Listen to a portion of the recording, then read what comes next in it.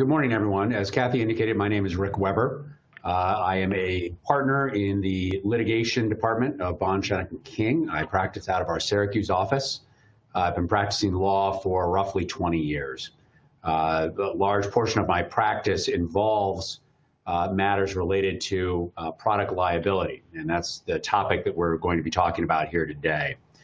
Uh, the idea behind this is to give you a sense of what a product liability lawyer looks at uh, when evaluating a product liability case.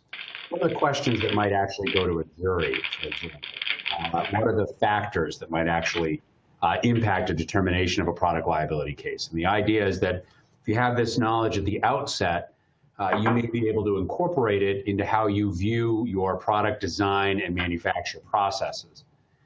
Uh, so with that in mind, a couple uh, preliminary things. First off, I will just let everybody know that I uh, have certainly presented on product liability before. I did it most recently uh, this past spring to a manufacturing organization, but I did so in a live format. I will confess that this is my first time on a webcast format. So if for any reason uh, you're not hearing me or uh, something's not clear, let us know uh, and we'll fix it on the technical end. Uh, so with that, uh, I want to get a little bit uh, kind of to the general overview here, talk a little bit about some product liability litigation basics.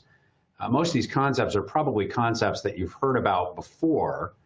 hopefully you haven't had to hear about them in the context of an active litigation. but they're, they're general uh, constructs that we deal with a lot in the product liability arena. Uh, we'll talk a little bit about negligence uh, as compared to strict liability, uh, difference between design defects and manufacturing defects, uh, as well as component part liability, uh, issues with failures to warn, conceivably failures to guard against potential known hazards, risks of misuse or modification by the end user of a product, and then related uh, claims, contractual waiver and indemnity claims, uh, and contractual warranty claims, and then some recent cases as well. Uh, as you're no doubt aware from the format, uh, you can submit questions at any point in time. Um, and what I will do is, is try to get to some of those questions, although it may take a couple minutes if I'm uh, kind of in the middle of a description here. So uh, with that in mind, let's start by looking at what should you be thinking about as a product manufacturer or designer the first thing you should be thinking about is obvious. It's your product. It's your idea. It's your uh, dream. It's your business. Uh, it's what you've decided to dedicate your life to investing in and developing. Um, from my perspective as a lawyer who counsels manufacturers and product designers, uh, I think what you ought to be thinking about in global terms are, you know, first off, what is the intended use of the product? That's often very obvious. Uh, but it's something that I think from a lawyer, from counselor standpoint, uh, you know, I would want to ask some follow-up questions on. So obviously know your product, as I'm sure you all do. What are the potential unintended uses of the product? Um, a common example that I give, if, uh, if you remember, uh, some time ago now, there was an, a um, rash of what's known as huffing incidences. These were uh, mostly teenagers who were using uh, products in aerosol cans because they were trying to get a high off the can. It was the format in which the product was being delivered. The intended use of the product was not anything they were interested in. They were interested in the ability to get a high off of that product. That's an unintended use, but one that became very clear uh, as there was publicity related to that uh, improper use of those aerosol products. Uh, who are the intended customers? This is useful to keep track of. Uh, your customers may be knowledgeable in the field uh, and very educated users, or your customers may be members of the general public who are going to rely on specific instructions, uh, directions, and guidelines as to how to use your product and what the limitations of your product might be. Uh, what components are incorporated into the product? Uh, if you have a product that is sourcing components from a different area, you know, different country, uh, different manufacturer. Uh, you need to give some thought as to what you're doing to make sure those components uh, are meeting proper specifications at the time they're incorporated into your product. Um, if you are a component part manufacturer, you need to be giving some thought as to whether you are meeting the requirements of that product uh, and whether there's anything you can see as the component part manufacturer uh, that might be a potential problem that perhaps the end unit developer has not uh, thought about or not given enough uh, credence to. Uh, also, to the extent that you identify any uh, hazards or any obvious risks of injury, can you guard against that? Can you, uh, you know, implement measures to make sure that you've minimized the risks to users of your product? Uh, and then how to test the design. What, what can you do to ensure that the product you are putting on the marketplace uh, meets standards uh, and is reasonably safe for the use that you are intending for that product? Uh, other things to think about, how, are you, how do you go about inspecting or testing as part of your manufacturing process? Uh, have you drafted accurate and complete instructions on use? Uh, oftentimes, those use instructions are contained in the same manual uh, or user guide as warnings. And have you provided full uh, and complete warnings uh, both in the product literature and on the product in some fashion, if that's feasible? And then have you accurately advertised the product and its capabilities? Uh, generally, a person who suffers an injury stemming from a defective uh, or a harmful product can sue any entity within the distribution chain. That means a designer, a manufacturer, or a, real uh, a retailer. Often what we find is that there are interlocking contractual relationships. Uh, so for example, a uh, retailer who indicates a willingness to sell a product uh, may only do so if there's some level of indemnification by the manufacturer for the sale of such products. Uh, and, a, and, a, common example of this happens oftentimes in the medical field, where there are certain um, prescription drugs uh, designed to address various conditions. And it may be that uh, doctors are encouraged to write scripts for certain medicines, albeit where those medicines are appropriate uh, and within the proper medical diagnosis of the physician. Uh, but the, that the medical provider, the, or excuse me, the, the producer of those, of those drugs is willing to defend and indemnify physician practice groups who write scripts on those drugs uh, against some kind of harm coming from those drugs. Uh, that's a common scenario and arena in which we, we find that. The main types of claims in product liability are, as I've indicated briefly, strict product liability, uh, negligence, and then the breach of warranty claims. Uh, strict product liability is what I usually think about first as an attorney. Uh, the idea is that an entity can be held strictly liable for any harm sustained by a person resulting from the use of the product, regardless of whether the entity did everything it could to make the product safe and to warn of dangers. A common example would be an ultra hazardous activity, such as explosives and demolitions. Uh, if, uh, for some reason, you are in the construction field and you are purchasing explosives, which happens to be a highly regulated industry, as you might imagine, uh, explosives are designed to do one thing explode. And there are all kinds of safeguards put in there. But the fact remains if you are a construction company and you are engaged in the ultra hazardous activity of blasting foundations for homes, for example, there are obviously a series of uh, hazards that can occur uh, even if the even if the the uh, product is used properly and according to its specifications. You'll see on a number of these slides, I reference something called the PJI, and so I say PJI and then a number after it. Uh, as a litigator, I identify the PJI as the pattern jury instructions. So what this means is when there is a dispute and an allegation of uh, a product liability claim, product malfunction, a design defect, any of that nature. Uh, that will eventually be distilled after a lawsuit is started and there's discovery and interviews of witnesses and medical records and reviews of product specs and all that kind of stuff.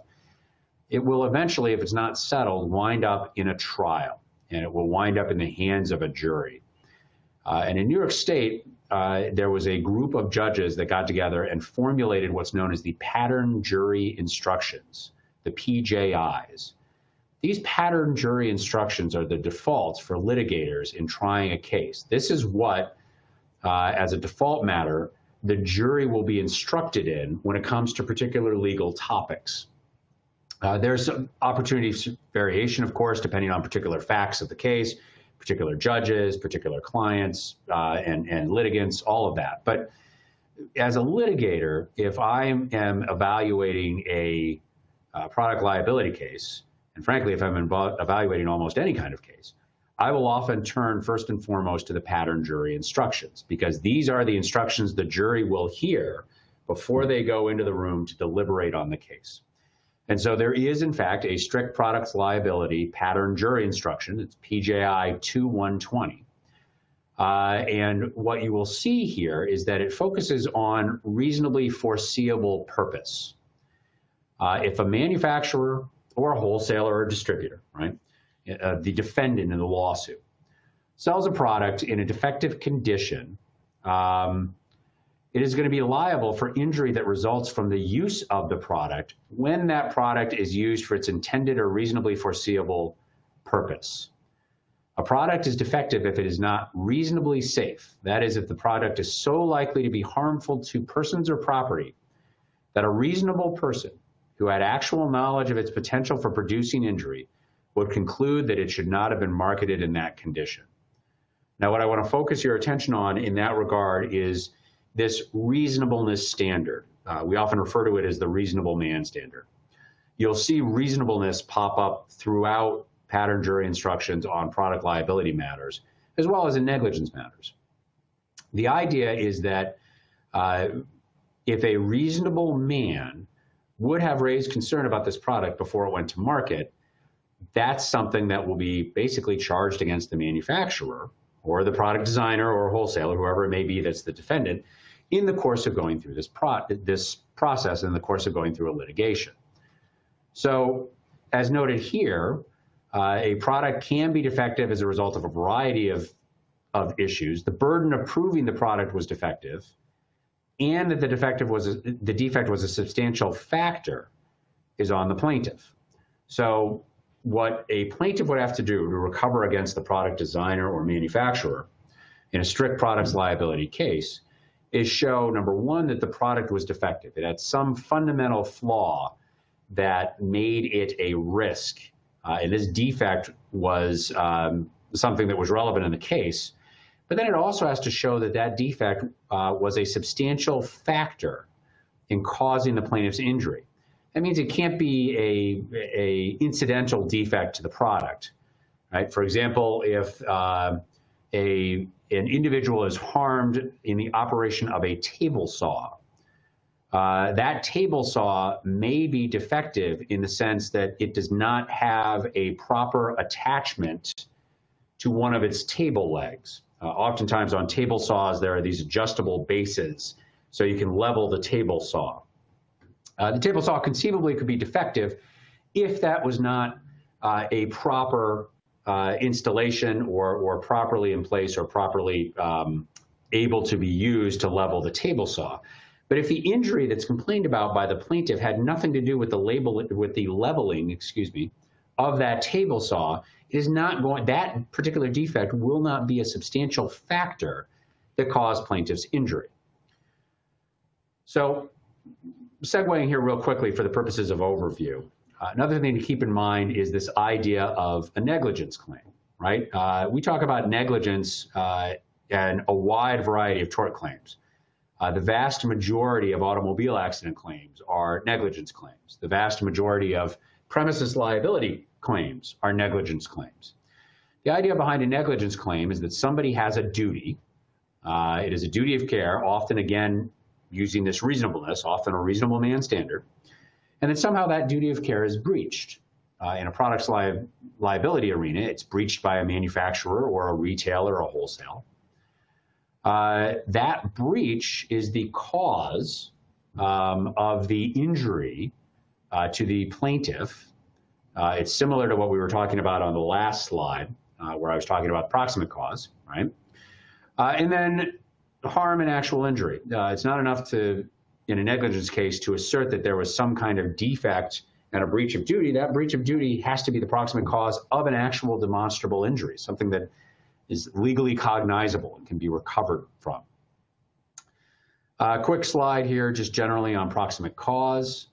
Uh, cause that is legally sufficient to result in liability and that directly produces an event and without which the event would not have occurred. Uh, I, I, make a notation here on chemical exposure cases. I have a, a lot of experience in cases, especially involving lead paint. Uh, and one of the defining uh, uh, characteristics of lead paint cases is that you have an individual who is exposed to a toxic substance very early on in childhood. These are usually toddlers or young children who are exposed, but that there's no immediate adverse uh, impact that is observed from that exposure. There's a record of an elevated lead level, um, but it's not until later on that the, the particular plaintiff begins to experience difficulty in school, maybe is diagnosed with a learning or behavioral disability, something of that nature. Uh, and so the harm itself that is being observed may not actually arise for years. Uh, under negligence standard, a manufacturer owes a duty of care to reasonably foreseeable users of its product. Uh, so what does that mean? Well, um, there are conceivably negligence claims for failure to take proper care in the manufacturing of a product or the design of a product, failing to properly test the product, or provide warnings or use instructions on the product. Uh, and then negligence conceivably to take proper care after the product is in the market and it becomes apparent that a product may be dangerous. Uh, this is where you start to get into the impact of recalls conceivably. If there is a problem uh, with the product, what steps is the manufacturer taking to reasonably alert the, pu the public to a problem with the product uh, and to address that? Uh, we'll discuss a little bit later on about a particular case involving Remington bolt action rifles uh, that got some uh, media coverage, uh, especially through 60 Minutes a few years ago, uh, where this was one of the elements that, that was a potential problem for Remington in the case. Uh, negligent manufacture, there's a specific PJI related to negligent manufacturing. The manufacturer of a product owes a duty of reasonable care in the manufacture of that product in part, so it will be reasonably safe for its intended or foreseeable users. Uh, so you can imagine, you know, kind of how that might uh, ripple through a product liability case. Uh, the, the takeaway for a manufacturer is what steps have you put in place to ensure that each uh, particular example of the product that comes off the product line is meeting appropriate specifications and is fit for use by the end user. Uh, as you can see here from the pattern jury instruction, reasonable care means that degree of care that a reasonably prudent manufacturer of such a product or component part conceivably would use in the making, inspecting, and testing of that product part and its materials in order to produce a reasonably safe product. Uh, there are certainly uh, products uh, that may be um, more likely to be at risk of a manufacturing defect. for example, if there is a manufacturer of paper towels who, for whatever reason, in the course of manufacture, erroneously fails to line up the perforated division between paper towels. So those perforated, you know, those perforated divisions are not level, um, are not uh, perpendicular to the edge of the paper towel. There is no likely, reasonably foreseeable, harmful consequence of that. It would be more of an annoyance to the end user. So the need to put in uh, elaborate steps to make sure each uh, of these paper towels is being divided into an exact rectangle may not be that acute, simply because the risk is not that high. A reasonable man would not think extraordinary measures to do that would be necessary. Conversely, if we're dealing with a product that involves uh, a specific chemical mixture, um, to be effective, uh, or a specific chemical mixture where one component, one chemical, if added to the mixture in too great an amount, could present a risk of harm. There certainly should be an effort undertaken by the manufacturer to ensure that the proper mixture uh, is put in place for each of those products. Uh, some of this has to do with a balancing of the manufacturing process against the risk of harm. Uh, again, the continuations of the of the PJI, specifically a jury will be asked, if you find the product was not reasonably safe, then you'll find the defendant was negligent.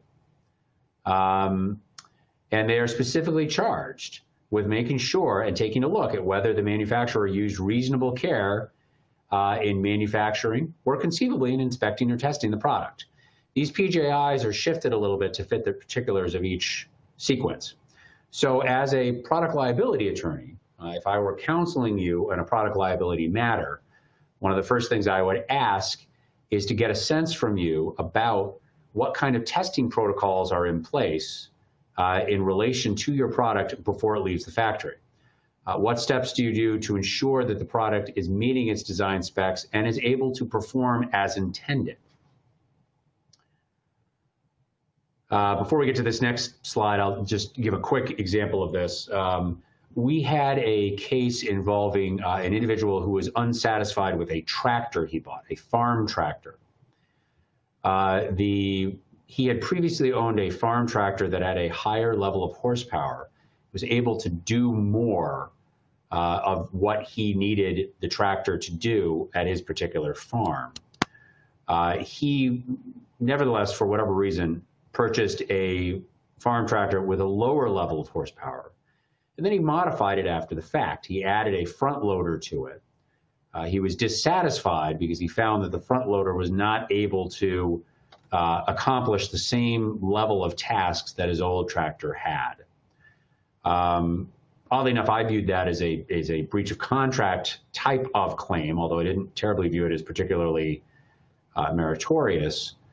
But with that, he had an allegation that because of this problem, he had actually suffered a physical harm. He had suffered an injury because he was forced uh, to manually try to do something that his tractor couldn't do. Uh, and we, of course, uh, pointed out a variety of issues with that uh, in that there really wasn't anything wrong with the manufacture or design of the particular tractor he had ordered. The problem was that he was trying to use the tractor to do more than the tractor was designed to do. Uh, and in fact, there were adequate warnings to show that you should not apply uh, that tractor to do more than in fact it was designed to do. So here's a slide on the three basic types of defects that we deal with in product liability actions. If you are a product designer, uh, obviously, design defect is particularly important to you. Uh, manufacturing defect, if you're a manufacturer. Uh, also, the failure to warn. Uh, and I'll quickly run through uh, those issues. Um, when a product, on a design defect, when a product is manufactured in accordance with plans and specifications provided by the purchaser, well, the manufacturer is not liable for an injury caused by an alleged design defect uh, unless the specifications are so patently defective that a manufacturer or ordinary prudence uh, would be placed on notice that the product is dangerous and likely to cause injury. Uh, in other words, if you are a manufacturer of a product and you are incorporating something that is designed into it, uh, you may in fact not be liable if that product was a defect in design.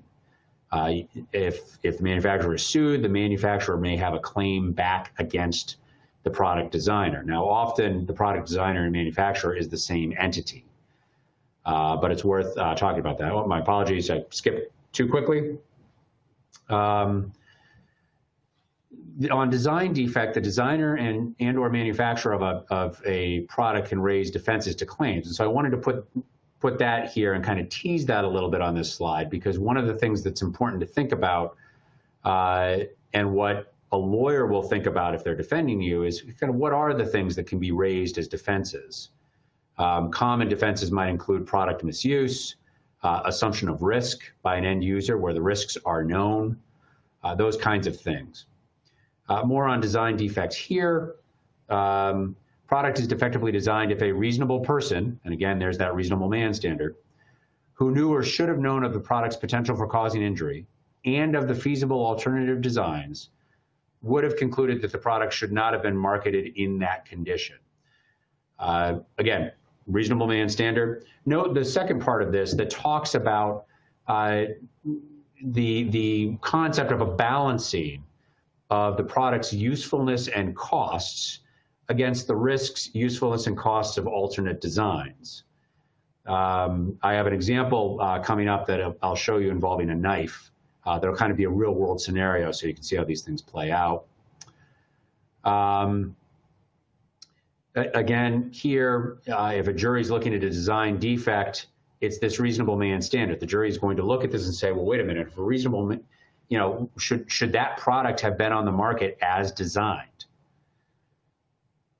Uh, relevant factors in design defect, again, a uh, whole list of relevant factors. These are straight in the comments from the pattern jury instruction. These are, in fact, questions that I would ask a product designer or manufacturer about their product. Uh, you know, when I would have an initial meeting if there's been a claim on a product liability case. Uh, you know, have, have you looked at alternate designs? Why not adopt an alternate design? What about guarding on the product? Have you, did you use a particular guard? And if so, why didn't you use a different guard on the product? Uh, what about this particular container for your product? What about, uh, you know, where you put warning labels on the product? Those kinds of questions are things I would ask. Uh, manufacturing defect, uh, I've already covered this a little bit. Again, it's a reasonable care.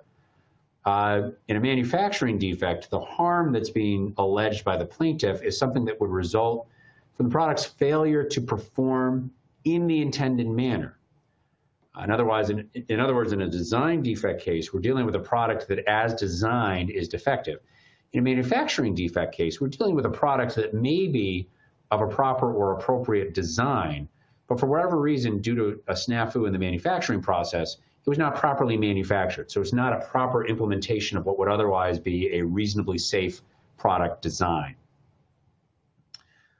Uh, in a manufacturing defect, it's incumbent on the plaintiff to show uh, that it did not meet the specs or the designs, and that failure to do so subjected the plaintiff to harm. Uh, again, this is a straight quote from the pattern jury instructions uh, on manufacturing defect. I put something in here about component part liability. Uh, obviously, the world is full of um, products that incorporate components from various manufacturers, from various countries uh, with various um, functions and oftentimes with various independent quality control uh, obligations and uh, safeguards. So uh, a component part manufacturer can be found liable for a defect in an ultimate product, but there's got to be a, a nexus there. The seller or distributor of the component has to substantially participate in the integration of the component and the integration of the component uh, causes the product to be harmful, and it is that defect that in fact causes the harm to the plaintiff. I had a case uh, in recent years uh, involving uh, what would be described as a, an asphalt hot box. This is a big oven on wheels that uh, municipalities uh, or private companies would use to heat asphalt uh, it would heat up asphalt into a form where it was pliable and could be applied, uh, you know, to potholes and to road work. Um, that hot box would keep the material hot in transporting it from, uh, you know, the the um, business office of the municipality or the construction company over to where the product was actually going to be applied. So essentially, it was a large oven. Uh, in that particular case, there was an individual who alleged an injury uh, from being exposed to fumes from asphalt. And the claim was that the asphalt had overheated. Uh, a claim was presented against uh, my client, who in fact was a manufacturer of what we call a temperature process controller. That is basically the actual small unit that is inserted into the end product uh, and on which a user would select a particular temperature. Uh, in that case, there's certainly no dispute that the product was integrated into the end unit. However, investigation appeared to reveal that it certainly was not the temperature process controller itself that presented a problem. The problem appeared to be that the manufacturer had inserted a certain thermocouple. A thermocouple is basically a large uh, uh, a uh, thermometer uh, basically two pieces of wire that touch together and form a circuit when temperature reaches a certain level. Uh, it, it is the device that would tell uh, a temperature process controller when to turn the oven on or turn the oven off. And the manufacturer in that case appeared to have inserted a temperature process controller uh, that, you know, excuse me, a thermocouple that was not then um, properly programmed and linked with the temperature process controller. So as a result, it was certainly possible that the particular asphalt hot box was operating at a higher temperature level than what was intended or what was reflected on the temperature process controller. But the temperature process controller, that particular component itself, did not have anything to do with it. The temperature process controller was, was performing as designed and was properly manufactured. Um, so that's just an example of incorporating one component into a larger case. Uh, in that particular case and in that particular scenario, the allegation uh, was of a harm from these superheated fumes, but this particular component, even though it was integrated into the product, was not in fact responsible for that problem. Uh, jumping from the component uh, part section I had there, there is in fact, again, as you might imagine, a specific pattern jury instruction on component part uh, liability. Uh, again, the component, uh, the, the manufacturer who uses the component product is under a duty to make inspections and tests as a reasonably prudent manufacturer would in its business. The example I just gave you, it turned out there was a test of the temperature process controller, but it was not in the specific device uh, that was at issue. Uh, I note down here potential subject for indemnification. I can get into that a little bit later if we, we still have some time left here at the end. Uh, warning defects, uh, if you are a manufacturer or a designer of a product, uh, be sure you're thinking about what you are conveying to end users about the limitations of your product and about the use of your product. Uh, and certainly that you are taking reasonable steps to warn users about hazards, especially hazards that may not be open and obvious. Uh, to go back to my table saw example, a spinning sharp blade presents an open and obvious hazard. Uh, most users of a table saw uh, have probably used a table saw before, uh, but even if they haven't, if they are adults, they certainly have some sense of what the use of a table saw could do. Uh, nevertheless, it is certainly eminently reasonable for table saw blades to be guarded, and this is why you have a series of, uh, they're often plastic uh, hoods that go over these table saw blades.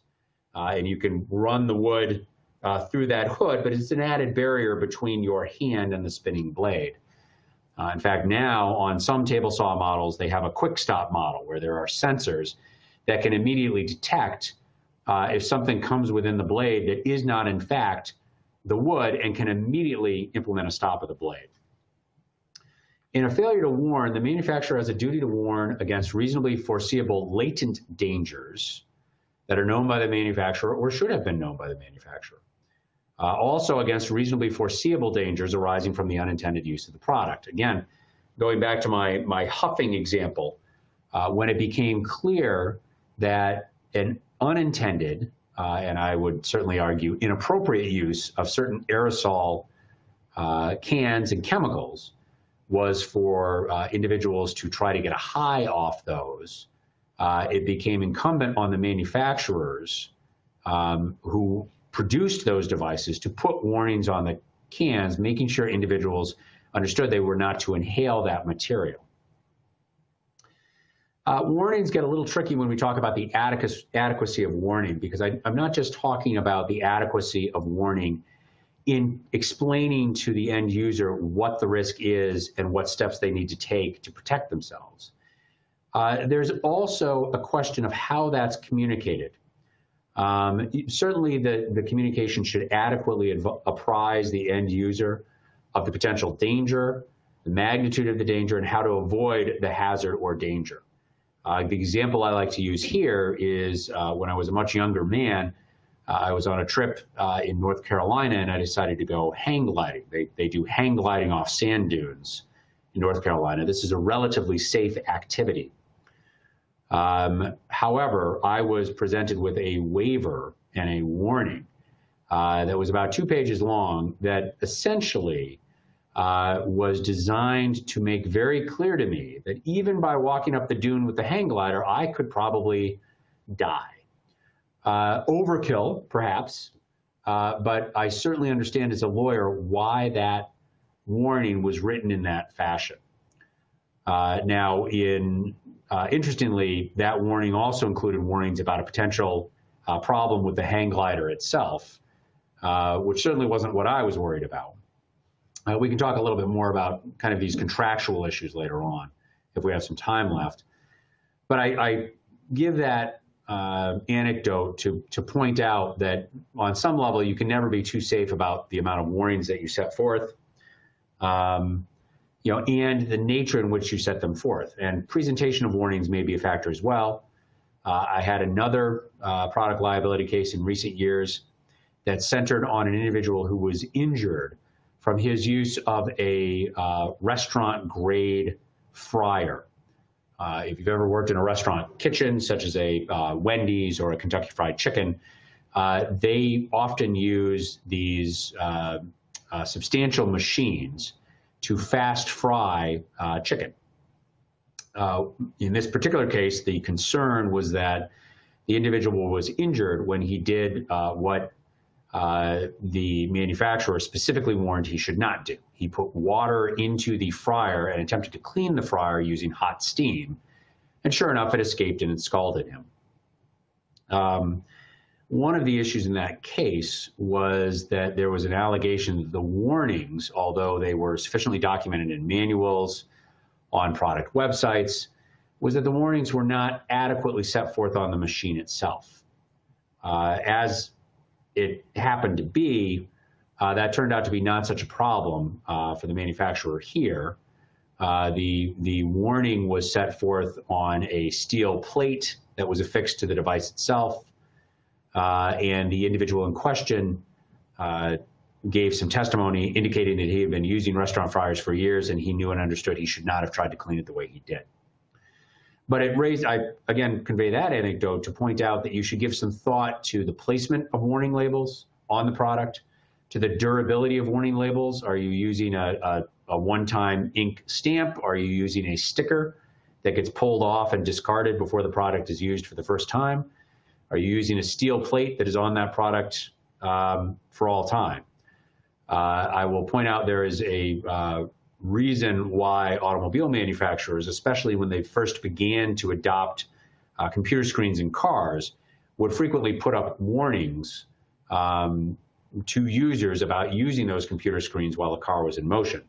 Uh, and in fact, most automobile manufacturers uh, have simply chosen to disable certain functions on their touchscreen devices in cars while the car is in motion. Uh, there is, of course, a PJI on inadequate warning or failure to warn of certain products. And again, we're looking at uh, a reasonable man standard. Um, uh, manufacturer of a product which is reasonably certain to be harmful, if used in a way that the manufacturer should reasonably foresee, is under a duty to use reasonable care to give adequate warnings of any danger known to it or which in the use of reasonable care it should have known, and which the user of the product ordinarily would not discover. Again, reasonable man standard. Uh, interestingly, here, uh, this this is again the direction to the jury. Um, this PJI 2120 kind of handles multiple roles.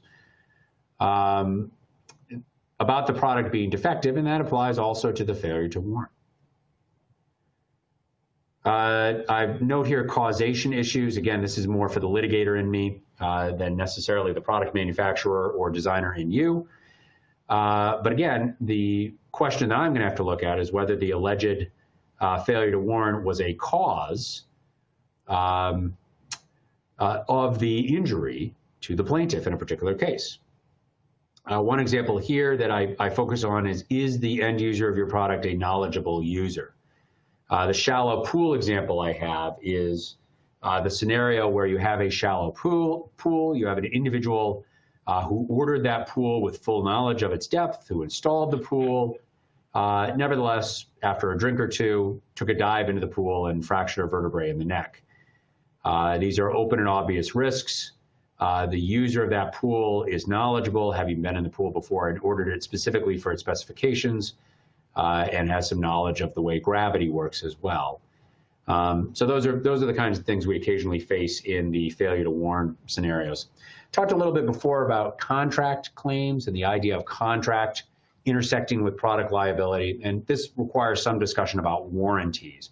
Warranties are representations about what a product can do, what its function is, uh, and how it will perform. There are a couple different kinds of these things. There's an express warranty.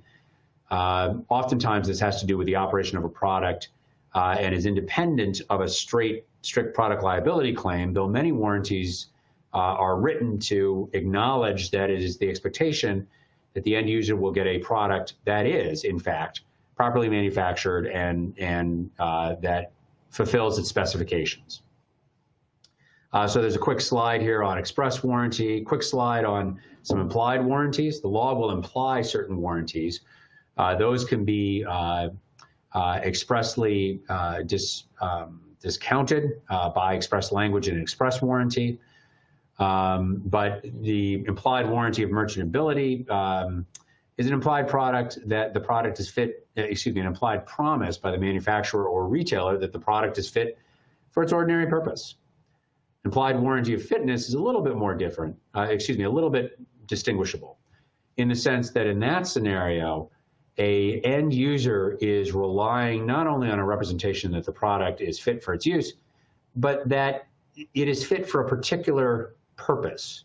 Uh, in other words, there's a reliance on the seller's expertise. Uh, think about the example of uh, the tractor I gave earlier.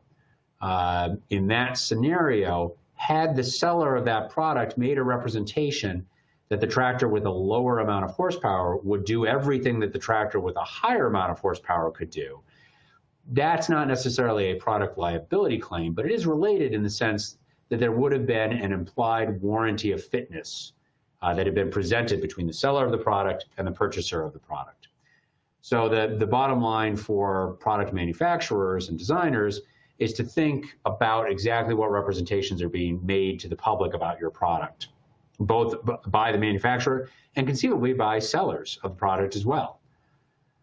Um, one thing I will point out quickly on that before talking about guarding is that especially in this day and age, we find that products are not only being sold uh, by direct uh, brick and mortar retailers, but are being sold online. Uh, to the extent the products are being sold uh, on a manufacturer's own website, the manufacturer obviously has control over what exactly is presented to the public in the course of selling that product. Uh, however, things can get a little trickier when the manufacturer of the product is interacting with a third party, uh, for example, an Amazon or similar uh, mass online retail. Uh, and in that scenario, obviously, we would caution manufacturers to, to make sure that proper product knowledge, uh, proper product use uh, instructions, proper warnings, and proper representations are being conveyed um, in the course of interacting with that online uh, product uh, retailer. Guarding against hazards. this arises when products by their nature are dangerous, even in their intended use. I give a couple examples below. Most of these are fairly obvious. Everybody runs into these kinds of things every day.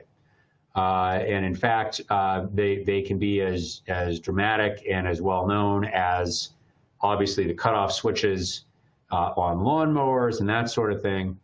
Uh, but frankly, they can also be as innocuous as uh, a cover, a, a spill-proof cover that you get on a cup of coffee when you're, when you're um, driving through your breakfast drive-through.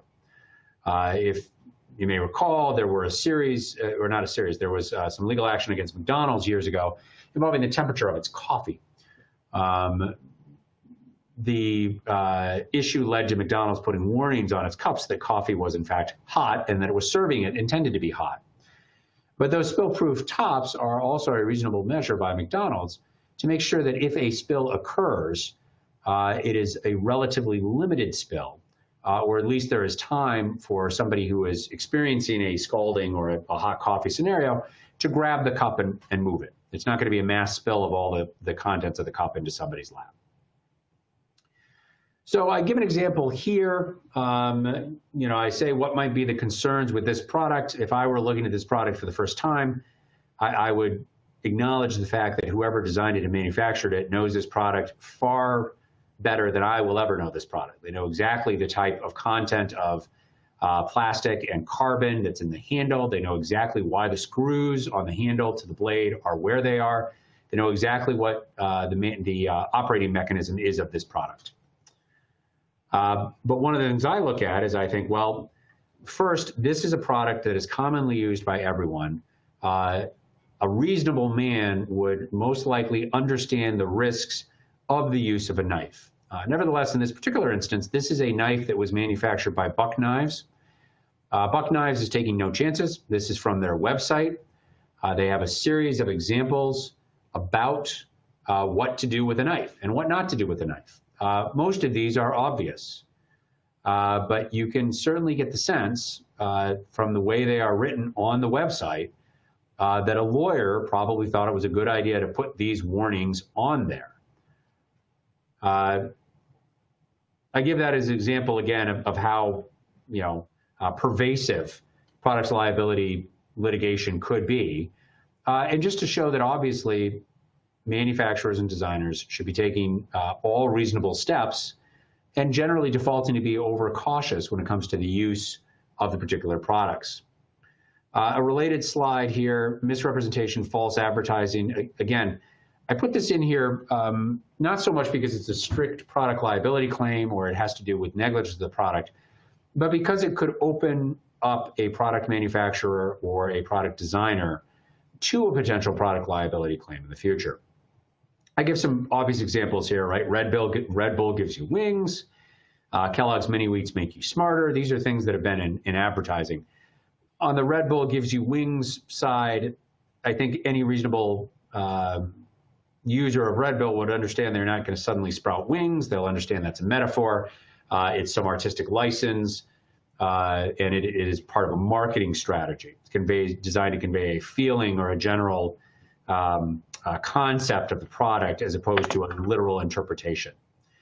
Uh, however, as you work your way down that list, you know, I note that Hyundai and Kia uh, have been uh, pursued for misrepresenting car horsepower. Now, does that result in any kind of harm that's a product liability matter?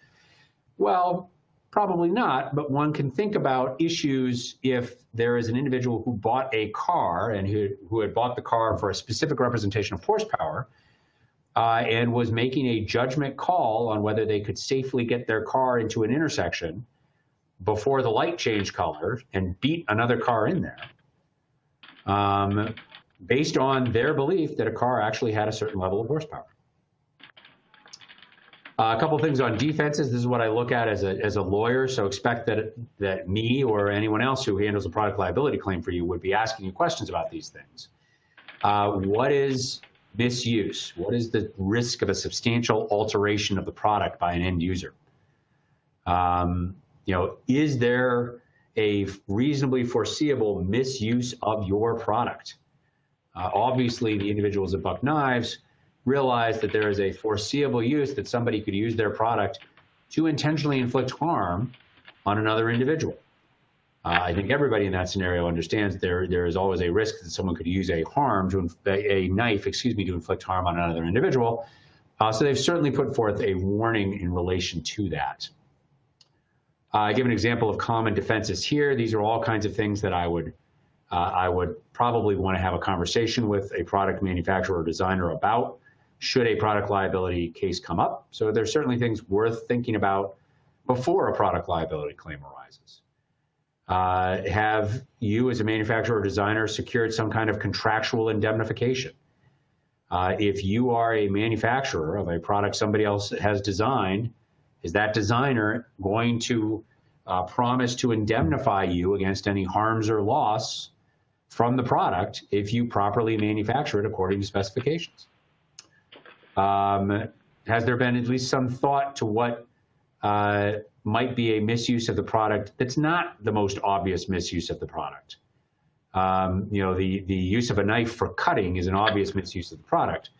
Uh, the use of a knife conceivably uh, to open a tin can, I would certainly argue that that's that that's a reasonable um, potential risk.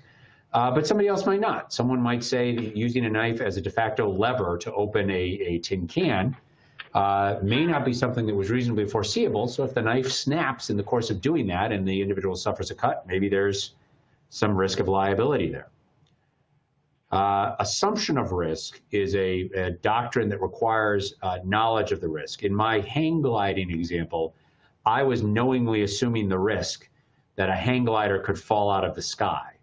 Uh, I was, in fact, knowingly uh, hoping that I could get the hang glider in the sky in the first place. But I was certainly, by virtue of the, the waiver and warning documents that they gave me, knowingly assuming that risk. Uh, and that would be a defense that they would have used had something happened and I had elected to sue uh, this manufacturer. I'm going to skip over statute of limitations. That's really more of something that uh, litigators focus on. Has to do with the period of time in which a product liability claim uh, can be brought. Uh, indemnity, I've talked about this a little bit. Uh, the Bigelow case I cite here for the principle that innocent sellers who merely distribute a defective product are entitled to indemnification from the at-fault manufacturer. This would be particularly important if uh, an individual suffers harm from a product and he decides to go sue the retailer of the product. Uh, a scenario where an individual uh, purchases a particular uh, electronic component from Radio Shack, back in the days when we still had Radio Shack, uh, the product malfunctions. It causes his um, his device to catch fire. Uh, causes some loss, some damage to his house. Could, he could certainly sue Radio Shack. Radio Shack would then most likely turn around and sue the component part manufacturer. Uh, so indemnification is something to bear in mind. Some recent case law, and, and, unfortunately I don't have a lot of time to get into this. I, I referenced the Remington uh, rifle cases before. These were cl class action lawsuits down south. There's one pending in Louisiana. Uh, the concern was that the bolt action mechanism on a Remington Model 700 rifle had a defect, and it exposed that rifle to an increased uh, and arguably unsafe risk of accidental discharge. Um, that case was ultimately settled with uh, Remington agreeing to retrofit these Model 700 rifles, which have been on the market for a long time, uh, with new trigger mechanisms at no cost to the owner. Uh, again, I cite here the, the Louisiana uh, case in particular that involved particularly a Model 710 bolt action rifle. Uh, plaintiff was injured when the rifle discharged, uh, and it and accidentally got shot actually through the buttock and into the elbow. Um, there was an allegation specifically about this connector mechanism. Uh, and certainly that's a case that, that's well cited. You can, you can read the details of the case a little bit more. Uh, but there was an argument that the design allowed dirt and debris to accumulate into that mechanism. Uh, and that that would then create this increased risk, and that that was an unreasonable increased risk. Uh, the district court granted judgment in favor of the plaintiff. I know that case was on appeal uh, to the appellate circuit. I don't actually know uh, the outcome of that appeal. Um, uh, and, and, one of the defenses raised by the manufacturer there had to do with a Louisiana state statute. Uh, Louisiana is a little strange in that they're uh, they don't necessarily uh, follow a case law model. They follow a more strict statute model for their for their legal um, system. Uh, but certainly that's a, a, case that's out there, and, and, I invite you to investigate a little further. If you have any questions, you can let me know. Uh, I cite the Fosamax product liability litigation. Uh, this had to do with an osteoporosis drug. Uh, again, manufacturing of chemicals, especially complex chemicals that involve a lot of components, often sourced from, from component suppliers, uh, raise a whole lot of considerations for the manufacturer of that chemical product, uh, especially a medicine. Uh, medicines are also uh, regulated under the FDA. They require certain levels of approval. Um, in this particular Fosamax case, there it was a warning label issue. Um, and the, the side effect concern was that there would be an increased risk of hip fractures. Uh, so that was something that, that went into litigation because the argument was that uh, based on the known properties of the uh, chemical makeup of that drug, and its interaction with the body that it should have been reasonably foreseeable that there was an increased risk of hip fractures. Uh, I cite the Wendell case. This is expert testimony. Uh, and again, I'm running low on time, so I don't want to talk about it uh, too long here. But one of the things that uh, commonly pops up in product liability cases uh, is the issue of a proof of case by expert testimony.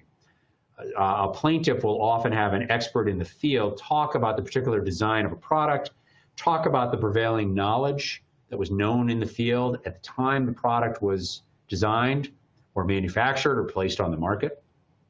Um, uh, also, you often will have, uh, in manufacturing defect cases, the potential for a manufacturing expert to talk about proper manufacturing and inspection and testing processes. Uh, again, what the plaintiff is, is attempting to do is show that there was a defect, again, in how the product was manufactured, designed, tested, uh, or inspected before it went to market. Um, so in this particular case, it had to do with a um, uh, the use of a particular drug uh, and the potential risk of a drug interaction problem when combined with other drugs. Uh, I cite here the um, issue about uh, labeling. Again, FDA was involved uh, because we were dealing with a medicine. Uh, in this particular case, the pharmaceutical manufacturer won uh, and got the case initially dismissed because the plaintiffs did not provide admissible expert evidence of causation. In other words, they didn't have an expert properly substantiate their claim that this was a drug interaction. Um, now, the appellate division reversed that determination, um, indicating that what we were dealing with was, in fact, a rare cancer and so it was not entirely surprising that the scientific community did not have a full raft of data on that uh, and investigating it. So that would, has revived that case, uh, and that is, to my knowledge, still in litigation yet. It hasn't quite been resolved. Uh, SeaStar I put in here as well. This involves a mechanical issue. The, the ball joint at the end of a rod on a steering system on a boat failed. Uh, that resulted in a loss of steering. Plaintiff was ultimately ejected from the boat. Um, a lot of this focused on what I had talked about before on the concept of causation uh, and uh, arguments about whether uh, there have been proper warnings in the literature. Uh, interestingly, in this case, no one had actually read the manual. Uh, I find as an attorney, it's very difficult to make a claim of failure to warn and the impact of a failure to warn if, in fact, the end user does not take the step of reading the product instructions. Um, and as noted here in the case, uh, the plaintiff could not prove that inadequate warnings in the manual were a proximate cause of the injuries because they had simply not reviewed that manual. Uh, they could only show, quote unquote, something was wrong, the rod end failed, which in this case was inadequate to show that there was a design defect. Uh, I cited one last case. Um, I will say it was a Bristol Myers Squibb case. It's on jurisdiction. This is kind of where litigators geek out a bit. Uh, it has to do with where a claim can be brought. Um, so I don't think we uh, we really need to get into that. Uh, if there are any questions at this point, uh, let me know. I, we haven't gotten any questions to date. So, uh, you know, with that, I'm, I'm happy to represent to you that if anybody has questions at a later point in time, they can get a hold of me. Um, I will uh, also note that Bond Schoeneck King um, has the ability to do kind of a proactive product liability audit, which we've done for some manufacturers in the past. Uh, so if you have questions and want us to take kind of a deeper look uh, at a particular product design or particular product uh, set of warnings or something like that, we're, we're certainly open to uh, being able to do that. Uh, with that, I, I, don't see that any questions have been submitted. I, I, appreciate the opportunity to talk to you guys today about uh, product liability law. again, I invite you if, you if you have any questions later on, um, please let me know. With that, I think I'm, I'm turning it over to Kathy Purdy, and I give my thanks to her for for the uh, technical aspects of this webinar. Thank you again.